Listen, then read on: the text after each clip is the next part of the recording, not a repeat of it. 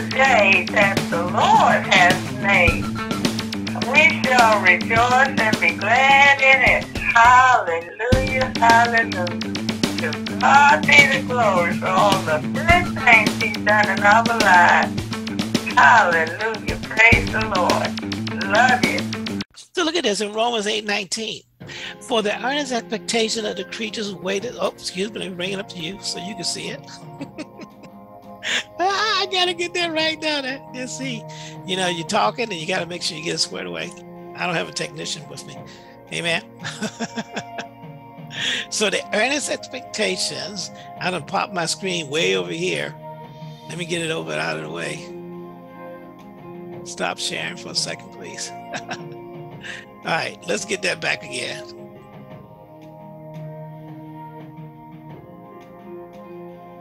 It says right here, Romans 8 19, for the earnest expectation of the create of the creature waited for the manifestations of the sons of God.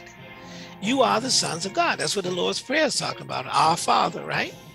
For the creature was made subject to vanity, not willingly, but by reason of him who has subjected the same in hope because the creature itself also shall be delivered from the bondage of corruptions into the what? The glorious liberty, the glorious liberty of the children of God. Look at that. I like that fact about the glorious liberty because many ministries don't want, want to take your liberty away.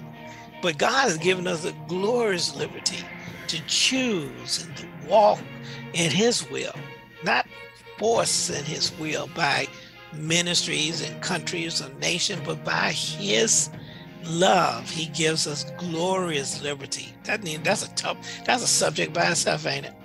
For we know that whole creation groanings and travailers and pain together unto now.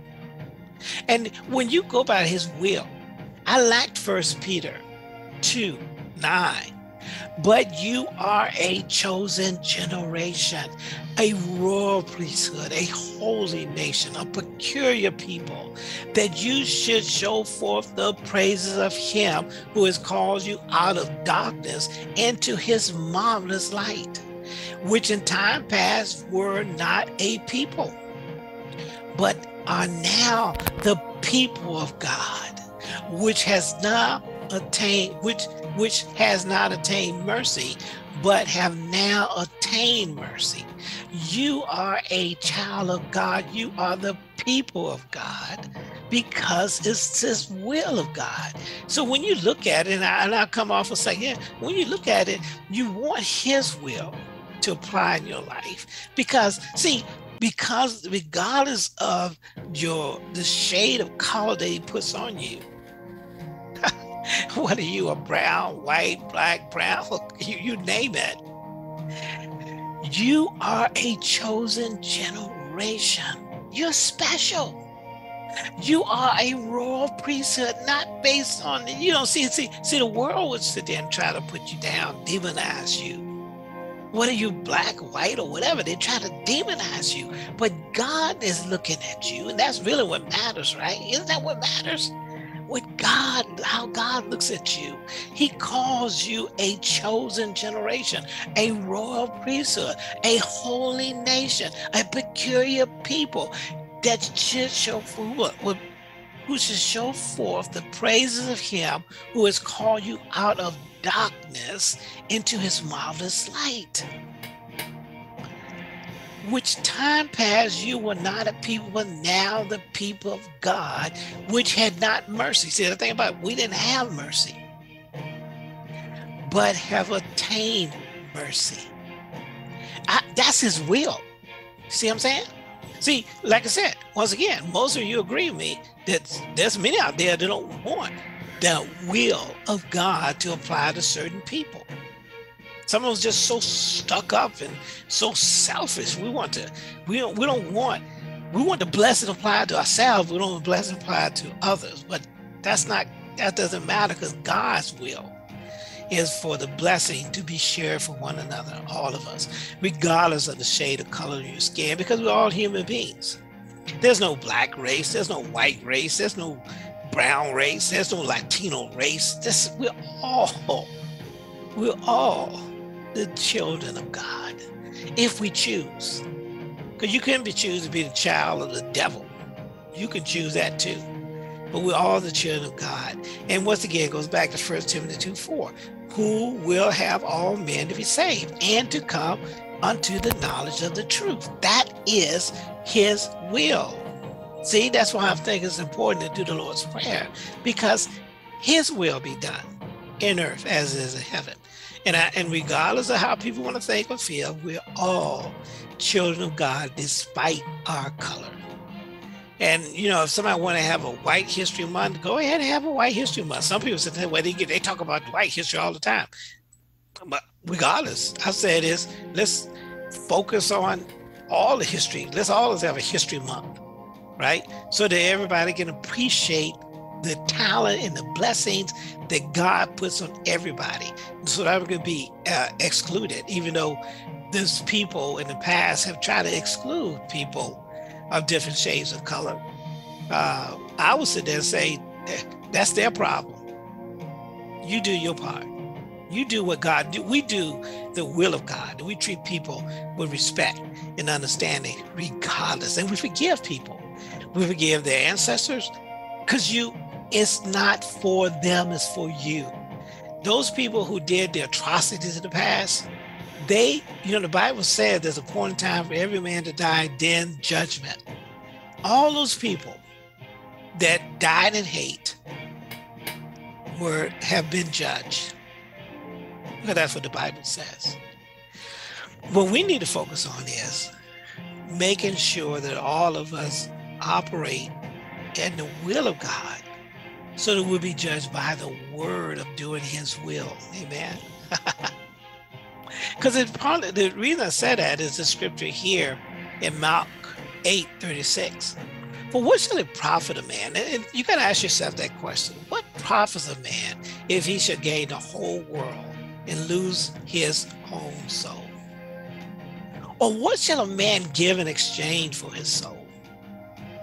Wherefore, therefore, whosoever therefore shall be ashamed of me and my words in this adulterous and sinful generation, of him also shall the Son of Man be ashamed when he comes in the glory of his Father with the holy angels.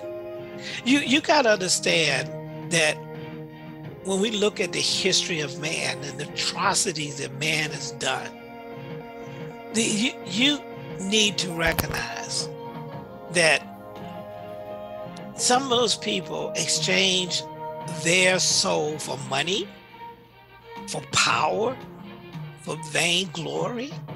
When we talk about the appreciation of, uh, of, of, of African Americans or Black History Month, we're talking about appreciating the blessings. Nobody appreciate the atrocities of or the hate or the murder that people have done. But what about the good that people have done? Amen. That's that's what that is about. In a lot of cases, they talk about indoctrination when they talk about the woke and all that other stuff. They, you, you got to understand, people are awakened because the God of this world has blinded those who He's trying to destroy. God has shined His light on all of us to see the truth. And you know, the truth of God, the blessing of God, the grace of God, the mercy of God didn't put slavery in. He didn't put lynching in, didn't put raping in. And he knows that that's not his children that did those things. And most of us need to understand you, you, just because your your parents may have did it or your descendants may have done it, that doesn't mean that's you. And that doesn't mean you teach your children or hide that fact from your children because they know those type of things. What we want to do is we learn from our history. That's what Black History Month is about. First of all, share and appreciate, because so many people, if you look at the the history of that of that junk, a lot of people were sitting there just uh, really just just hating and teaching hate, and it's still there. You know, just not not a few few weeks ago, the video came up with a a group of, of girls, uh, Anglo-Saxon, European, white girls, whatever you want to call it, was painting another white girl blackface and calling the, calling the person uh, a, a, slave and, and, and, and about the fact is they're going to make them do be a servant. And you got to understand who taught that. You know that wasn't taught to do that or treat people that way, right?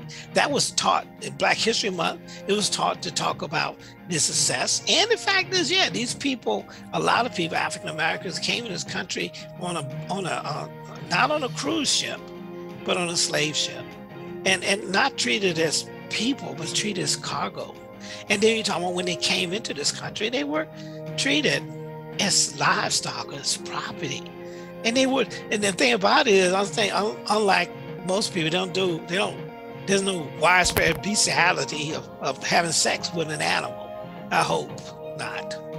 But they did that to uh, African American slaves. they lynched them. They, they, they did all kind of bad things to them. And even after the slavery, they did uh, all kind of lynching and hurting and Jim Crow laws and all that. So those things happened, and they were wrong. And that was not the reflection of God.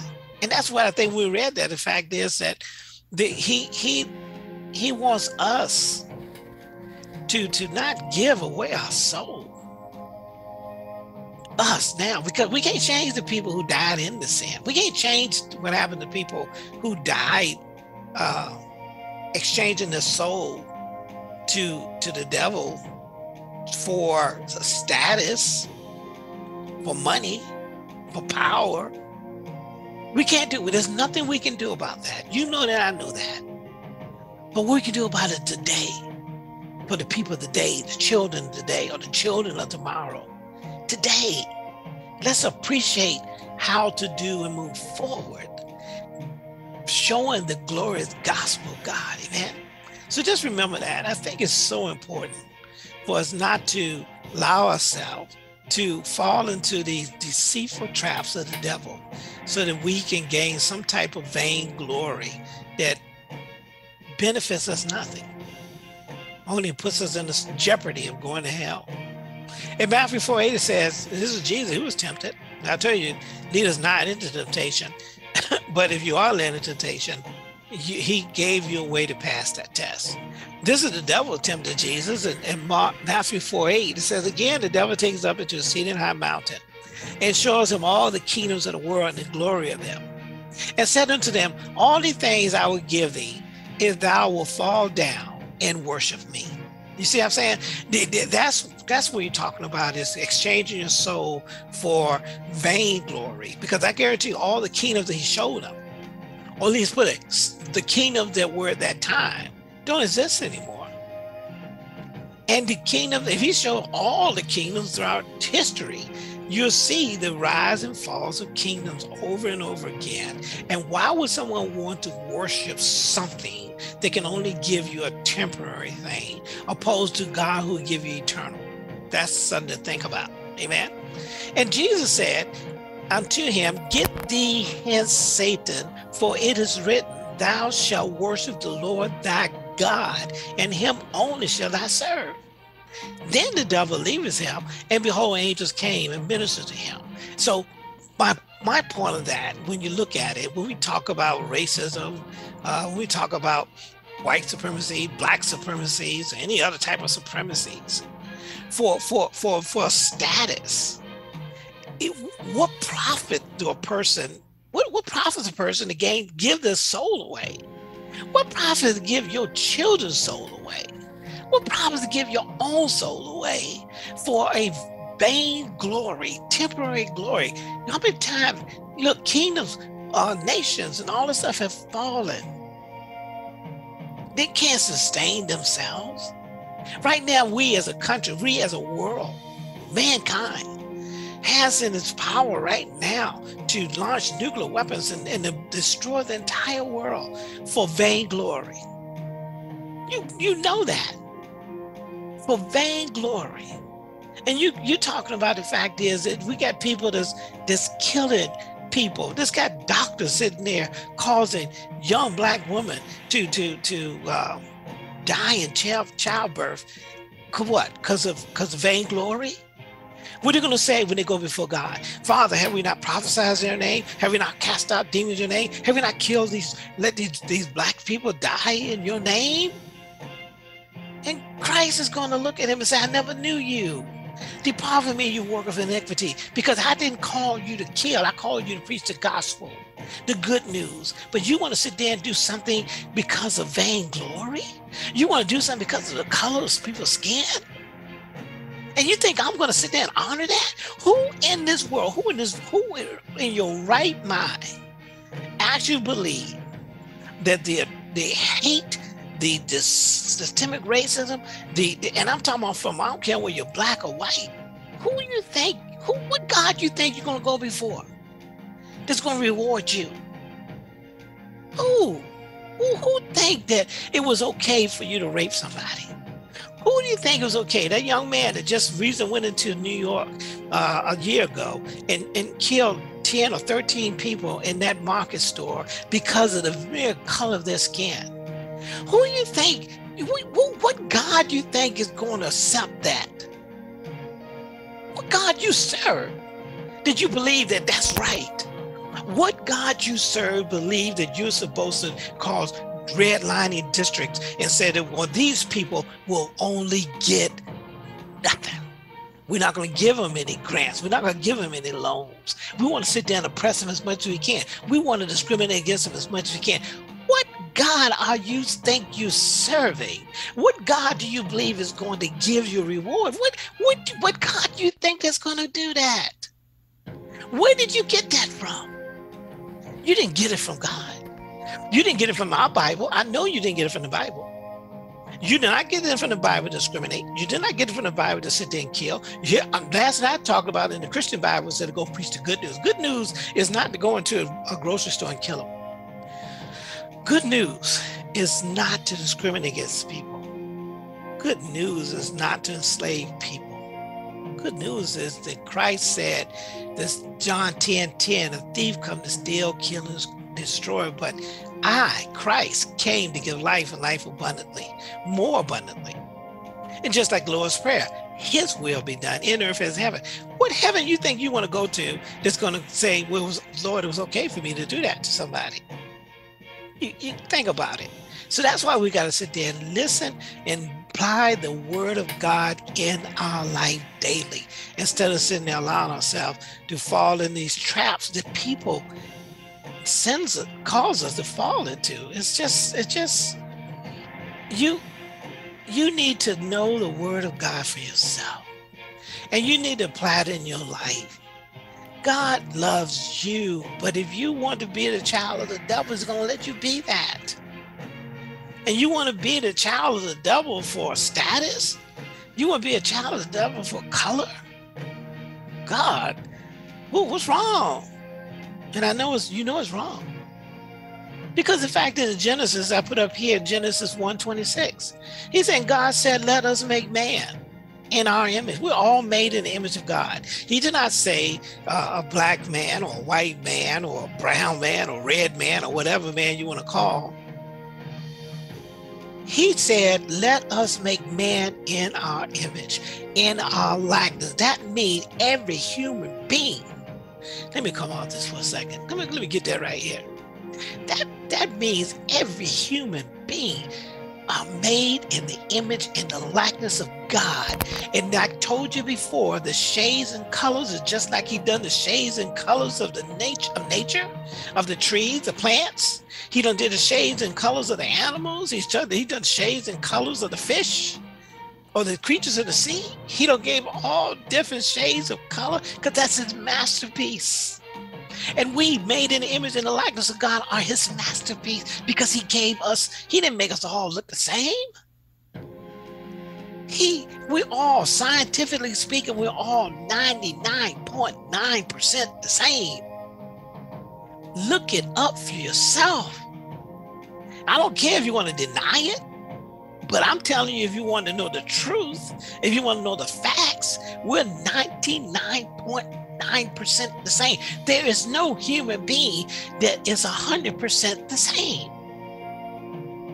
Even a twin has some torques and differences in them. We're all made in the likeness and image of God. So we should all treat each other with love and respect of the image and the creation, the beauty, the masterpiece that God has given us. Because that's what God called us to be. I know man told you to be something different, but you put your trust in God and not in man. He looks right back in Genesis 1:26. Let's go back up there again.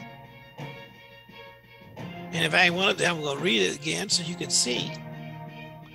In Genesis 1, chapter 1, first book, I think everybody read the first few book chapters of the Bible, Genesis, right? But if you do, this is chapter 1, verse 26. And God said, Let us make man in our image, after our likeness, and let them have dominion of the fish of the sea, you know, the fowls of the air, and over the cattle, and all the earth, and every creeping thing that creeps upon the earth. So God created man in his own image. In the image of God created him, and got male and female created he them. Huh? We're all made in the image of God. Now you go find, go, go, go get somebody to read it. And tell you, well, aren't we all made in the image of God? That was the scripture say. And let me tell you something. Don't put your trust in man, put your trust in God. Look at this in Jeremiah 7 5.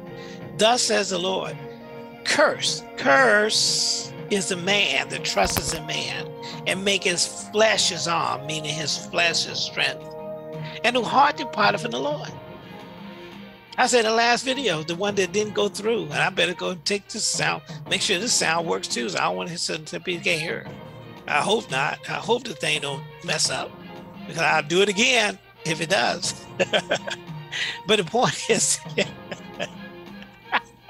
I'll do it again if it mess up. I'm telling you.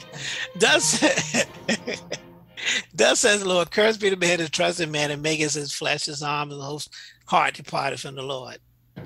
Verse 7 said, But blessed is the man that trusts in the Lord and who heart and hope is the Lord is. He that's who he put his trust in, not in man, but in God. Who, verse again in First Timothy 2 4, who will have all men to be saved and to come into the knowledge of the truth. Well, I think we need to make sure we, we want to get to that point that we come to the knowledge of the truth of God. Amen. That's the blessing. I, I, I like that. And I and I want you to always remember that is to share that the we're all made in the image of God. And and we trust in him and not in man.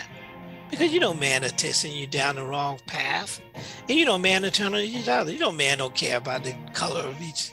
You know, really, the devil don't care about the color. God don't care about your color we make ourselves care about the color so that we can sit there and try to find ways to divide one another and to profit. You know, uh, I was looking at that one thing Lyndon B. Johnson said and said, if you can convince the poorest white man that he's better than the richest black man, then you can he'll give you he'll pay his taxes he'll pay more taxes he won't care about any benefits anything else because you convince him of a status that has no value. You're not putting more food on his table. You're not educating him. You're not making him better. You're just keeping him poor and broke and just had but i feel good because i'm not i'm not the lowest. And then you got to understand no man can determine, define what God has already called you to be. You you are already in the same level with the richest person because you are a child of God. You already been called a royal priesthood, a holy nation, peculiar people because of God. You already been called the apple of his eyes. You have already, see, if you sit there and try to get, if you're looking for your status to be based on man, if you're looking for your recognition to be based on man, you already said, said that a man is above God because you're not appreciating what God called you to be. You're appreciating what somebody in the world calls you to be. And I'm telling you, focus on who God calls you to be. and then start to profit, meaning he wants you to have abundant life. He don't want you to be poor. He ain't ask you to be rich, but he don't want you to be poor. He don't want you to be oppressed and de- depressed or anything else or disgusted, broke and disgusted. He wants you to have the best in this life. Remember the Lord's Prayer in earth as it is in heaven. We been, some of us have been duped so bad. You just been duped. You're sitting there thinking that you you a status supposed to make you feel better, and you're willing to pay everything you can for a status that has no value. My friends, we call it a water fountain. They gave a, you know, the water fountain used to be the a water fountain for whites only, then a water fountain for blacks only. There was a water, there was a bathroom for blacks to go to, and there was a bathroom for whites to go to. And so, so a white person sit there and said, "Man, I got a, I got a bathroom, so I got, I got a status. I may be poor as the poor, I could be homeless and everything else, but I can go to that white water fountain. But can you go to God? That's what you need to always worry about. Can I go to God? I know people. I know the evil people. I know the people that's called in darkness, but can I go to God? Can I glorify God or do I have to glorify those people that have more money than me, but have the same color as me? And because they said I'm better, I'm better. I feel better because they told me. Opposed the fact is that what God told you. And God says, Are you the apple of my eye? And I just said in the we are the masterpiece of God. We are marvelous and wondrously made. I'd rather hear what God has to say. Amen. And stop trying to worry about trying to put somebody else down so you can feel better. You know, that that's that's dog ain't hunting. And that's not what God called you to be. God called you to love one another you know, if you want to be a Christian. But if you don't want to be a Christian, then you go ahead and do. I guess you can still you can think the way you want to. And you got to remember those people that don't care and don't believe in God, they don't care. They don't care. And you sit there and try to get their appreciation, they ain't gonna get you in heaven. They ain't gonna get you in heaven. Look at this right says here. This is the day that the Lord has made. We shall rejoice and be glad in it. Hallelujah, hallelujah. To God be the glory for all the good things he's done in our lives. Hallelujah, praise the Lord. Love you.